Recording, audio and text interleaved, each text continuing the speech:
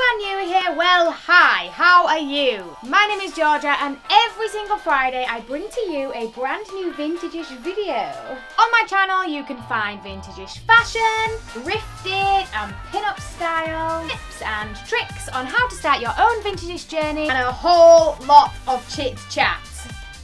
Today, we are talking about fashion, hun. I take you down a Pinterest rabbit hole, showing you how you can style everyday outfits with a vintage-ish twist. If you love all things vintage and are wondering where to begin, well, my friends, I highly recommend you hit that subscribe button, turn your notifications on, and you'll never miss another video. Well, hello everybody, another Friday in 2021. If you are like me and you're based in the UK, well, you'll be in lockdown again. Again, again. I'm sure my face tells you exactly how I feel about being in lockdown for the third time, but yeah, great. I wish I could say it's a case of nowhere to go, nobody to see, nothing to do. However, I am homeschooling my four year old and trying to run a business. So if you would like to send me gin or matching socks, because I, I can't find them at the moment, either of those would be much appreciated. Send help, send help, send help, send help. Sometimes when the world is going downhill, we simply need a bit of escapism. I mean, escaping from my own child to have five minutes peace on the loo on my own would be great right about now. But I'm not actually talking about that kind of escapism. No, I'm talking about escaping into the world of fashion. As I have previously mentioned in another video, I am a huge, huge fan of Pinterest. It's one of my favorite social media channels. There is just so much inspiration over there. The other week, week, I was browsing for some outfit inspo and I just thought to myself, there's so many outfits like flat lays and things like that out there that are like trend led from the high street. They're just commercial kind of fashion looks, I guess. Now, I did see a small selection of vintage inspiration, but these were mainly from brands. They weren't just kind of like the normal person like you or I that would just put outfits together for fun. I don't know, does anyone else do that? Is that a thing?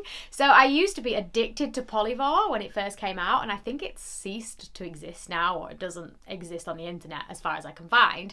Um, and I would just love putting outfits together, like flat lays and dragging a dress here, putting some shoes and a little handbag and a matching belt or something, and retroing it up just a little bit, and yeah. So I thought to myself, I'm gonna pick three Pinterest outfits and try and show you how you could style them with your own kind of vintage-ish or retro pin-up twist. Okay, so the first outfit is going on screen. Now I have pieces in my wardrobe quite similar to that look, but I've just gone for a retro twist, okay? First of all, now I know in the picture they are like a high-waisted um, flared trouser or swing trouser, but I have the shorter version. These culottes are from Topshop and I got them in the sale. I think they're about eight quid, something like that super comfortable to wear. The only thing I would say, I'm I'm just gonna say it how it is, they click really easily. There's a few kind of runs and clicks in the fabric. As long as I stay away from sharp objects, it's generally fine. Now, I know that they've paired it with like a cute little cute vest. I just can't do those kinds of straps. They're not for me, so I just paired it with a simple slash neck, um, a t-shirt that I got from Primark, a long time ago. It's seen better days, to be fair. I'm just popping the picture up on the screen again so you can be reminded um, before we move on to the shoes. So here we have a pair of loafers, nothing kind of revolutionary, a little bit safe in my opinion. I don't like this type of shoe. I don't really wear this type of shoe unless it's more of a saddle shoe. There I have my favourite trusty geek shoes. These are so worse for wear, but literally I have just done some steps in these. Um, I love them. I got them on Amazon. I think they were like £15 or something. I've worn them for years. Um, I really like to wear them with a comfortable trouser. They're just a really comfy flat shoe. And I tend to get them in like a neutral colour so they'll go with everything. I think this outfit is a little bit plain for these shoes, but I'm just going to go with it. I am going to be a little bit cheeky and pair this outfit with this absolutely stunning 60s vintage coat slash jacket. The label says DAKS and it is made in Great Britain. It's wool, it's lined, it's got a little belt on the back. It's so classy. Um, obviously I wouldn't wear this around the house because it's super warm, but if I was just popping out, that's not a thing. But if I was going for essential shopping like milk or bread, then obviously I could just pop this over the trousers and the tee. And I think it would really just jazz up the outfit for me personally because it's a pattern and I think there's way too much plain in there. Thank you.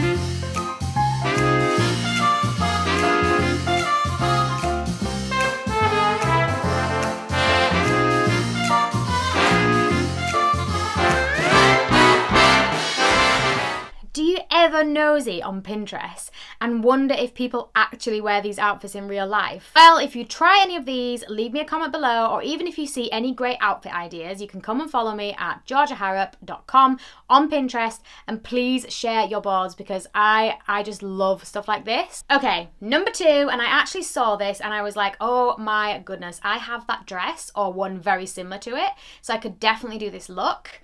The dress I'm talking about is this one. I know obviously it's got a collar, but it's a little polka dot number. It was kindly sent to me by Cupcake Couture Vintage, which I will link in the description box below.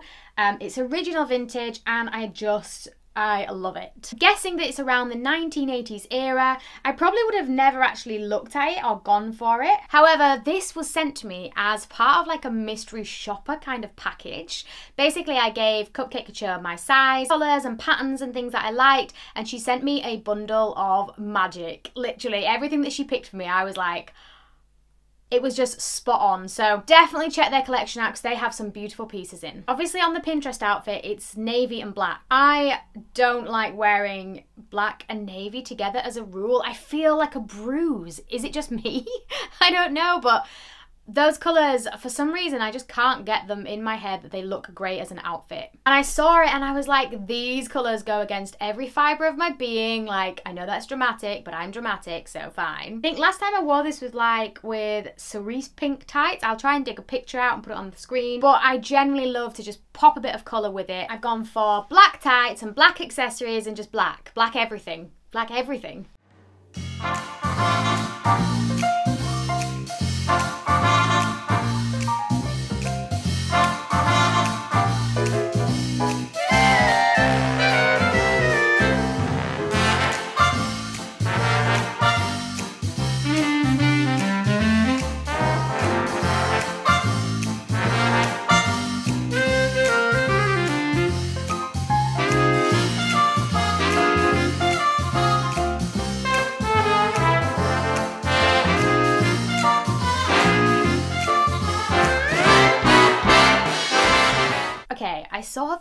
Outfit on Pinterest and it was described as soft styling. I did not even know this was a thing. Now, admittedly, I am probably the furthest you can ever get from soft styling, being that I like bright colours and patterns and everything, but I didn't know like soft styling was actually a type of styling out there. Now I'm just going to pop this outfit up on the screen. You can see it's kind of got a little bit of a vintage twist anyway. I have gone for the softest wrap blouse this one is from Rock and Romance. I have paired it with a full circle skirt, which is also from Rock and Romance. Kind of felt it was a little bit plain. Again, it's just block colours, and I always like to throw in a pattern, so I have gone with a vintage scarf, and I've just got like a little belt buckle here that I've kind of tied the vintage scarf with. Of course, I could have gone for a tan heel, but I am all about the comfortable life at the moment. So I went for a gold flat. This pair was very kindly sent to me by Charlie Stone Shoes a while ago now. I think it was like a year or two ago. Um, they are my old faithful flats. I love them. They're super comfortable and I really feel like this colour, again, it's a metallic, so it's a neutral for me, right? But it just goes with everything and I wear them to death really feel like it just gives a softer kind of look to the styling. It's probably kind of what I would wear around the house. I know obviously I've got bare legs and no tights and it's January, I'm freezing, but I'm in the house, it's warm, I'm working from home or something, I've got Zoom meetings. Obviously it's okay because no one's going anywhere, we're all in lockdown, so it's a perfect outfit if you're just staying at home, right?